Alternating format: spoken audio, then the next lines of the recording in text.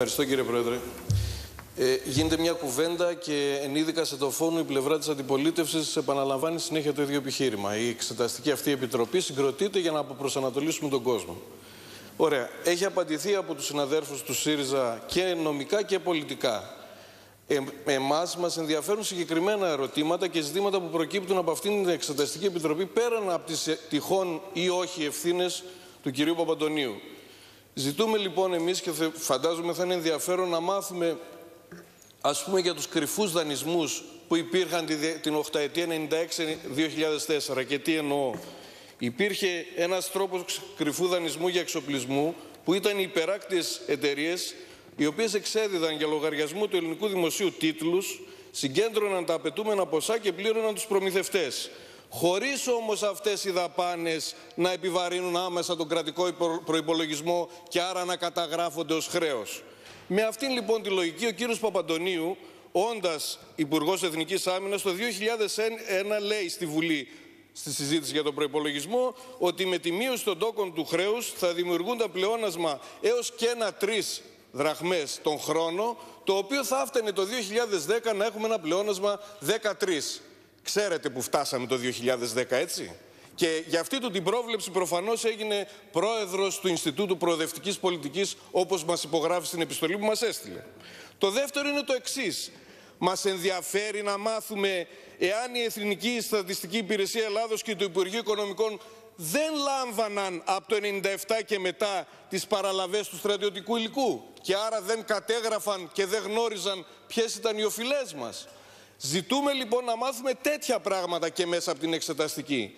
Θα μάθουμε ας πούμε με ποια προοπτική και με ποια στρατηγική γινόντουσαν αυτές οι αγορές όπου αγοράζαμε εξοπλιστικά συστήματα χωρίς αμυντικές προδιαγραφές, χωρίς να έχουν συνέργεια μεταξύ τους το ένα με το άλλο, χωρίς να, να υπόκειται σε ένα δόγμα στρατιωτικό το οποίο θα το ξέραμε. Απλώς μπαίναμε σε ένα σούπερ μάρκετ στρατιωτικών υλικών, ο εκάστοτε υπουργός του δίνανε ή δεν του δίνανε κάτι παραπάνω και προτιμούσε το α ή το β ή το γ. Σε αυτές λοιπόν τις έξι δικογραφίες ένα όνομα είναι συνεχώς εμφανιζόμενο. Ο κύριος Παπαντονίου. Και εμείς ζητούμε να μάθουμε αν έχει ευθύνη ή δεν έχει. Υπάρχουν και μη πολιτικά πρόσωπα, τα οποία οι ρίστο εμπαρόδο έχουν σχεδόν διαχειριστεί όλο το εξοπλιστικό μας πρόγραμμα από το 96 και μετά. Να πω ένα όνομα, παραδείγματος χάρη ο κύριος Γιακουνάκος. Είναι παντού. Και γιατί αγοράζαμε εξοπλιστικά ε, ε, αγοράζαμε, ε, υλοποιούσαμε τέτοια εξοπλιστικά προγράμματα τα οποία δεν ήταν άμεσα διακρατικές συμφωνίες και έπρεπε πάντοτε να υπάρχουν αυτοί οι μεσάζοντες. Πώς βρέθηκαν άνθρωποι που ήταν υπάλληλοι ιδιωτικοί ή δεν ξέρω εγώ τι άλλο να διαχειρίζονται κονδύλια δισεκατομμυρίων; Αυτά θέλουμε να μάθουμε. Με ποιον τρόπο έγιναν τα εξοπλιστικά αυτά προγράμματα; Και να μάθουμε και να ακούσει ο κόσμος ότι μεταξύ 96 και 2004 εκτοξεύσαμε το, το κόστος των εξοπλιστικών προγραμμάτων με αποτέλεσμα το 2002-2003, εάν δεν με απατάει η μνήμη, να φτάσουμε πρώτοι στον κόσμο. Πρώτη με 4,6, 4,7. Να φτάσουμε δηλαδή εκεί που ήταν πάνω από οποιαδήποτε άλλη χώρα με οποιοδήποτε άλλες αμυντικές ανάγκες. Και κάτι ακόμα. Υπάρχει μέσα στη δικογραφία το εξής, εμένα μου φαίνεται και κομικό τραγικό, αστείο τα ΑΟ, τα αντισταθμιστικά ωφέλη, θα ήταν 250% επί του τιμήματος που θα αγοράζαμε τα Λέοπαρτ. Δηλαδή μας είπανε αυτοί που μας δώσαν τα Λέοπαρτ, θα δώσετε χ χρήματα και θα πάρετε πίσω 250% στα, στα χ χρήματα που δώσατε. Και το υπέγραψαν αυτό οι υπουργοί. Εσείς πιστεύατε ότι θα συνέβαινε ποτέ αυτό το πράγμα; Δηλαδή εκεί που θα πληρώναμε να πάρουμε κάτι θα βγαίναμε και κερδισμένοι 150% απάνω. Αυτά δεν πρέπει να τα μάθουμε. Δεν πρέπει να μάθουμε τα μηχανήματα για τον ηλεκτρονικό πόλεμο που ήταν το, ο προϋπολογισμός στους 72 εκατομμύρια. Δώσαμε 43 εκατομμύρια και δεν έχουμε τίποτα. Τίποτα όμως δεν έχουμε. Δώσαμε 43 εκατομμύρια και δεν έχουμε τίποτα. Δεν θα πρέπει να μάθουμε για το C4I που δώσαμε ένα σκασμό εκατομμύρια ελαίο Ολυμπιάδας και δεν το χρησιμοποιούμε.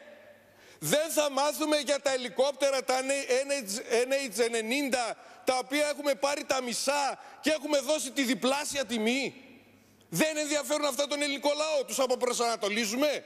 Αν μας ενοχλεί Να το καταλάβω ότι μας ενοχλεί να τα σκαλίζουμε αυτά και εμφανίζεται η αντιπολίτευση να μην θέλει να τα σκαλίσουμε. Εμείς όμως εδώ το είχαμε δηλώσει και προεκλογικά ότι συγκεκριμένα πράγματα θα τα σκαλίσουμε. Γιατί το κόστος της οχταετία είναι 51 δισεκατομμύρια για εξοπλιστικά προγράμματα. Σας το ξαναλέω, 51 δισεκατομμύρια μαζί με την Ολυμπιάδα και το χρηματιστήριο. Η χρυσή οχταετία του εξυγχρονισμού είναι αυτή που άρχισε να βυθίζει το καράβι. Και ήρθε μετά και η Νέα Δημοκρατία και του έδωσε μια και πήγε παρακάτω. Αλλά να μην τα μάθουμε αυτά.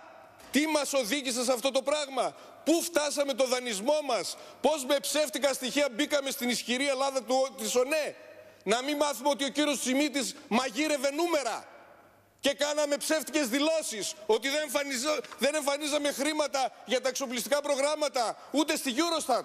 Να μην τα μάθουμε λοιπόν όλα αυτά. Ε, λοιπόν θα τα μάθουμε όλα αυτά και πολύ περισσότερα. Και ο καθένας, ο κάθε κατεργάρης έχει δεν έχει ευθύνη να καθίσει στον πάγκο του. Ευχαριστώ.